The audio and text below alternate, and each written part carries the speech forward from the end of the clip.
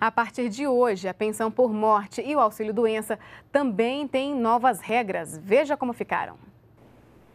A lei sancionada pela presidenta Dilma Rousseff trata de dois benefícios sociais, o auxílio doença e a pensão por morte. Com as novas regras, tem direito à pensão por morte o companheiro ou companheira que comprovar pelo menos dois anos de casamento ou união estável.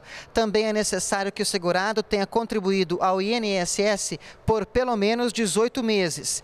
A duração do pagamento da pensão passa a seguir faixas etárias.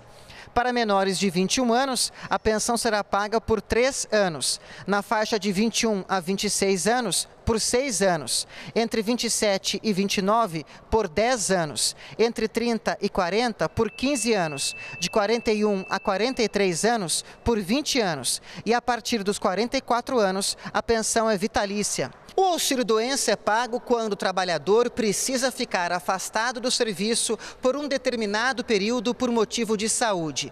Mas para desfrutar desse benefício, o segurado precisa fazer uma perícia médica. O INSS continua sendo o órgão responsável pela perícia, mas a lei traz uma alternativa ao procedimento.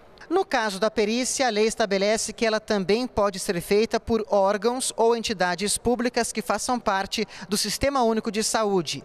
Isso a partir da coordenação e supervisão do INSS. Os primeiros 15 dias de afastamento do serviço devem ser pagos pelo empregador. A partir do 16º dia, a responsabilidade passa a ser do INSS. O valor do benefício é uma média dos últimos 12 salários do segurado.